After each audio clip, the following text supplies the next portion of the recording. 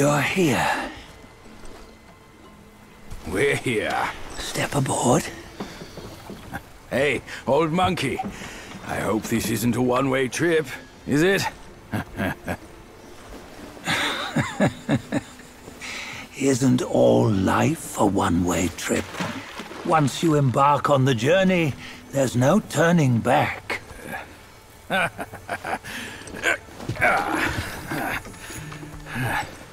Ah, what is this place? His memories.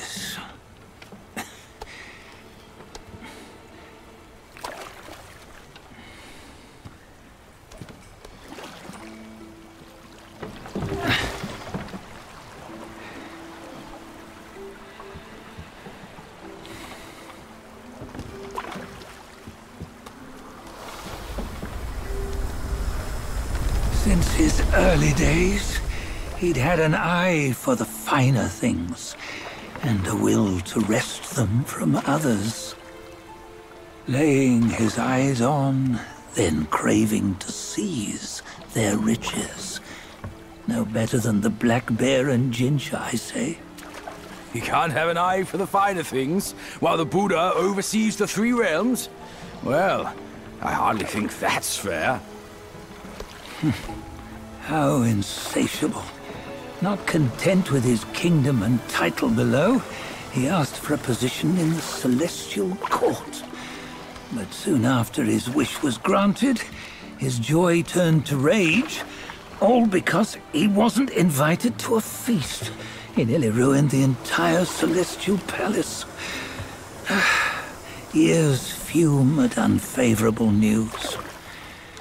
As untamed and ungrateful as that yellow rat.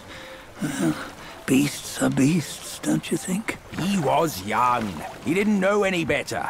Hadn't learned from the Buddha or our master yet. Aren't you being a bit harsh? Dredging up the scandals from his youth? Like his adulthood was any better. Since his release, he had claimed to have learned manners and discipline. Yet his weak Frankenchurch gave him away. Posing as an idol, he degraded the gods. Clear was his defiance of the doctrines he had learned. Well, he was just being naughty. Aren't all great achievers somewhat self-obsessed? Myself included. Nose in the air, feeling above others. I say he was no less insolent than that yellow-browed brat. Wait, isn't it that... that lady of some sort? Hmm. it was her tricks that made Master drive Wukong away. On White Tiger Ridge, he forsook his love.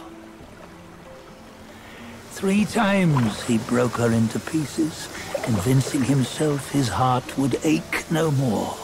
Yet, as you must know, he had never let go of her.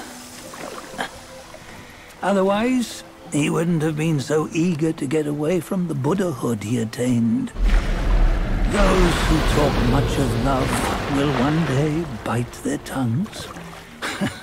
On this matter, he was akin to you and your many darlings. No matter where you are, you'd always fall captive to the web of mortal desire. Why bring me into this? True, I don't have the wits to break the web, but he had torn his way out since that day. Ah. Take a look, Bajie. Can you see? Many of your good friends are here. We're just fair weather friends, that's all. But they are still friends, aren't they? So you say, so it must be. These old buddies. I think none of them ended up well. Indeed. For ages, countless gifted souls have walked this earth. Yet of them, how few have forged everlasting greatness? Do you know why? Injustice? Never has it been just. Misfortune? Fortune is simply humility in the mighty. Well, mayhaps. They simply lacked my charm. Gifted they may be, yet strive they not. Content with little and lost in lust. Seek the ease, yet crave the renown. They yearn for freedom, yet aspire to Buddhahood. They always want both, yet nobody can and nobody should. Such was the folly of the Bull King and Wukong. Destiny's favor calls for the resolution to sever all desires. You should mark well these words.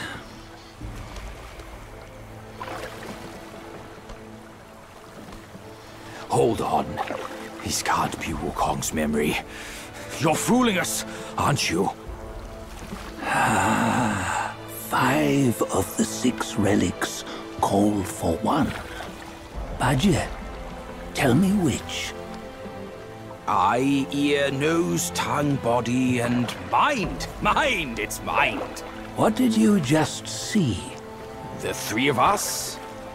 That was the last one. Oh, I see now. It was you. I knew it from the beginning. You were the mind of Wukong all along. That's why you led us here. Not me. It's him. Don't make me laugh. Him? He is Wukong? Yes and no. Cut to the chase, will you? We didn't come this far for your riddles.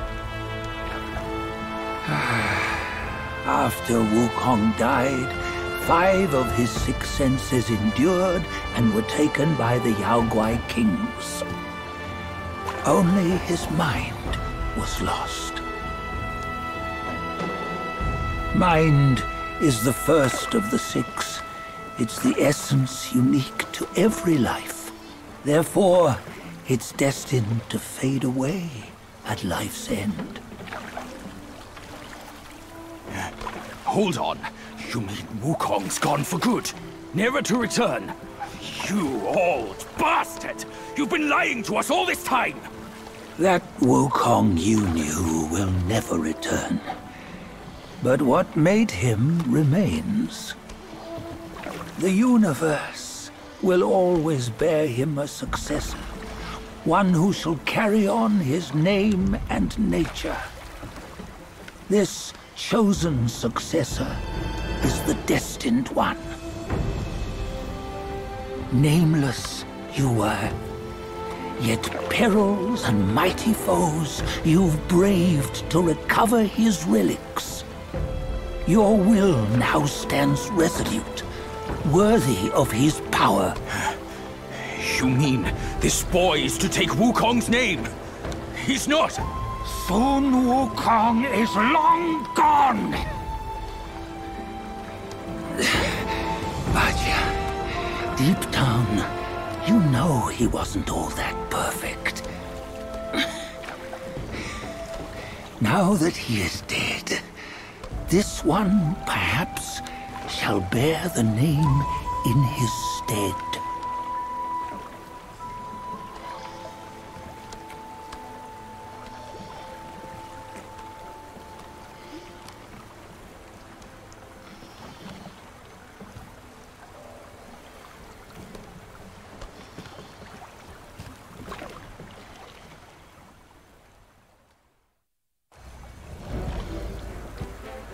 Here, we can venture forth with you no further. This task is yours alone. Sun Wukong left behind a broken shell, stripped of all his six senses. Though ages have passed, it maintains a connection attuned to the echoes of his former self. If you truly are the one destined, you must cast aside his soulless shell and merge the six into one. Then you shall be the one to begin the journey anew. No, not on his own. He's just a kid who knows nothing. I'll go with him. This place is shaped by Wukong's lingering obsession. It allows only his relic bearer to face final ordeal. We can escort him no more. See it for yourself. Hear me, son! You can always run! You don't have to bear Wukong's name!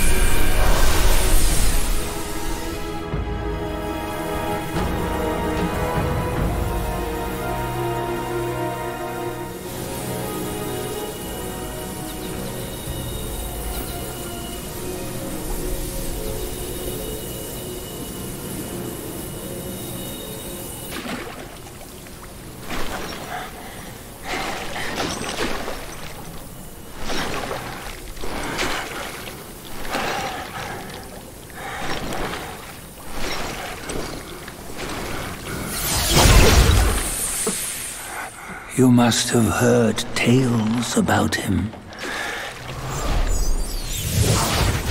Some say he helped Tang Monk fetch the scriptures, was granted Buddhahood, and stayed on Mount Lingshan thereafter.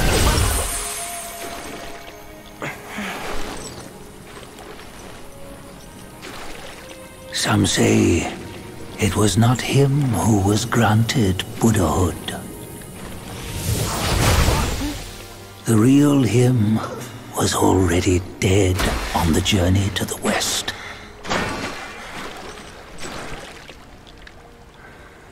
Some say that the journey never happened. He is nothing but a monkey who lives in some storyteller's tall tale. but now, you will hear a tale which no one has ever known.